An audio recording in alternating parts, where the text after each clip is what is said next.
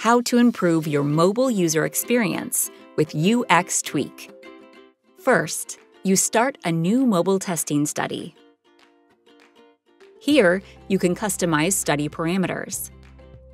Name your study and choose whether you want to test an iOS app, either from TestFlight or App Store, a mobile version of a website, or a prototype. For this video, we will continue with testing a mobile app. Insert your app's name and a URL from which you wish to import your app. You can now proceed to set up the testing processes. Give testers some tasks that reflect common user activities in your mobile app. For instance, when testing a Maps app, ask them to find the shortest route or set up some of their route preferences. To discover where users usually struggle, ask them questions to see how they deal with the tasks and how they felt during testing. Launch your study, copy its link, and share it with whomever you want. A tester opens the invitation link of your study from their iPhone.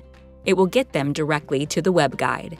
The tester then installs your mobile app, along with the UXtweak app, which will serve as a guide during the testing process.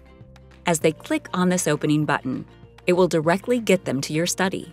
Screen recording will start at the beginning to see how users interact with your mobile app. How do tasks work? It's simple. Just read the task, switch to the testing app to accomplish it, and once you think the task is complete, return to answer the study questions.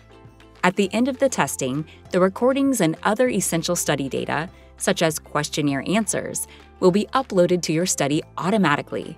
You can then review the results with ease and at your own pace. Analyze user behavior, evaluate their feedback, and on the base of that, improve your mobile user experience.